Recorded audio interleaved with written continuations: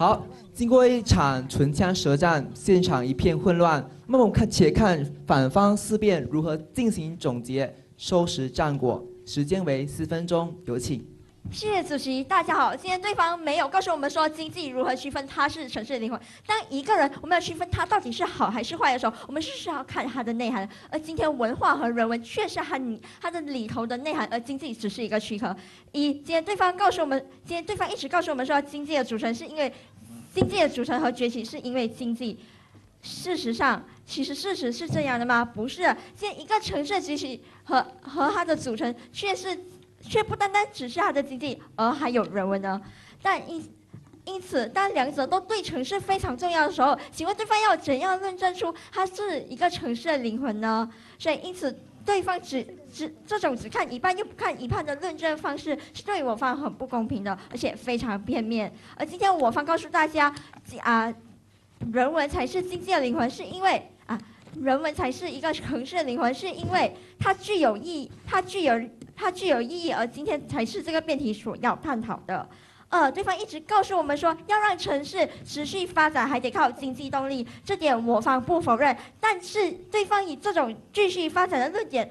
就跳跃式的论证经济是哈是城市的灵魂，但这种直接性，对方没有交代清楚。可是当我们深入的探讨的时候，一个城市的发展，它需要的不只是经济的动力，它需要一个是政治的理念，它需要是一个环境的资源的时候，请问按照对方的逻辑的时候，这些东西都当成是城市的灵魂吗？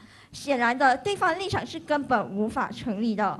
三。今天对方企图告诉我们说，一个城市都在追求利益，都以经济作为考量的时候，还是最终目的。但是今天目的就等同于它是城市的灵魂吗？我方绝对不能苟同。当今城市在吸引外资、吸引经济利益，在如何在旅游业让自己的名声站在国际化的时候，是不是还要以它的特质、它的文化来站在这个国际化呢？当它成为这国际化的时候，当当它能站在这个国际化的时候，是什么推广它呢？是因为它城市灵魂，是它的特质。为什么旅游业要发展的时候，为为什么还没有告诉人民说它它一个月有多少个收入呢？而是告诉它有什么特质呢？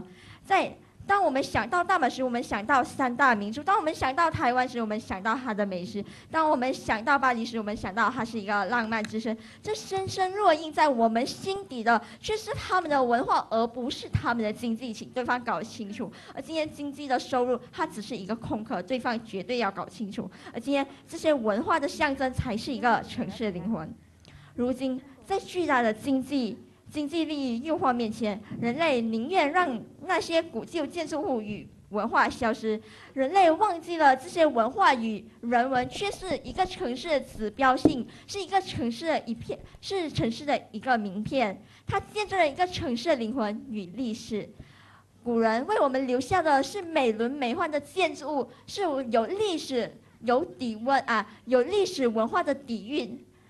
但如今人类却留下的只是一个冰冷的建筑物。那试问，这个城市的灵魂是要提倡这种价值吗？是要提倡这种不顾人情、只顾经济利益的价值吗？不是的。今天人类只留下冰冷的钢骨水泥的建筑物的时候，还有堆积如山的垃圾的时候，还有污染城市空气和渗透沥青味儿的马。马路及后者的时候，各位，这不是我们所要提倡的价值观。但是，如今天我方不否认经济和人文是相辅相成的，何者失去何者便会衰败。但是，但是人文活力才是经济，才是城市的灵魂，让城市具有具有指标性，迈向更文明、自由、民主以及达至成达达至和谐效果。谢谢。好，感谢反方思辩。现在我们有请正方思辩进行最后发言，时间为四分钟，有请。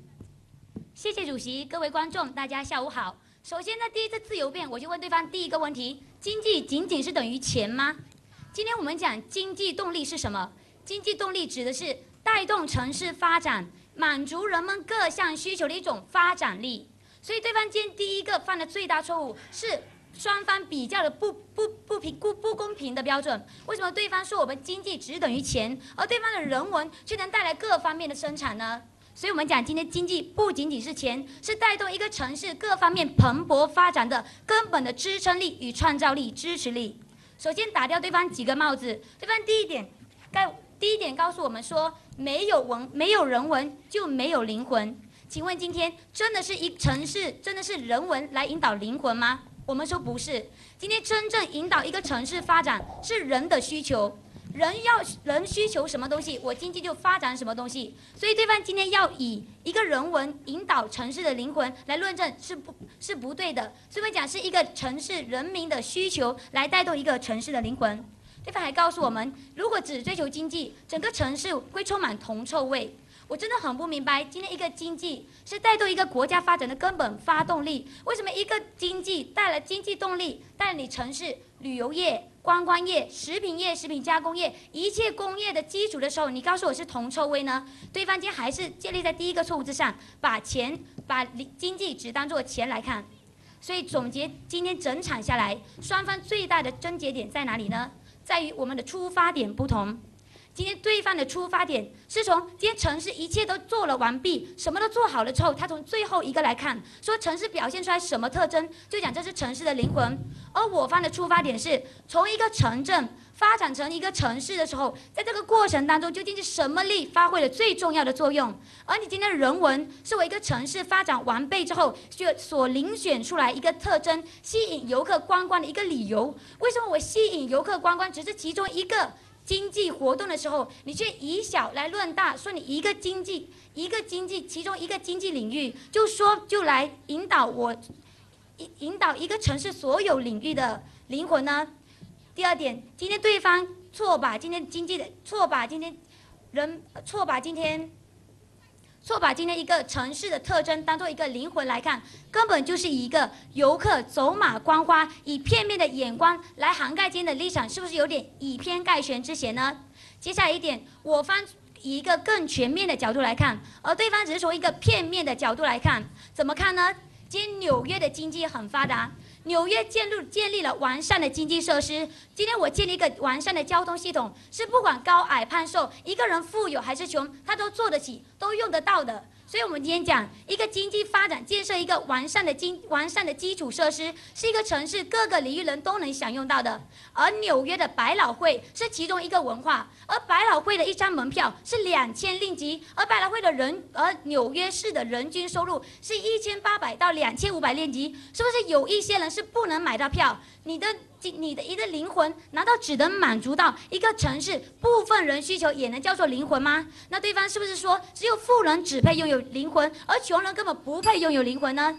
所以今天以片面来涵盖今天整个的立场是不完全的。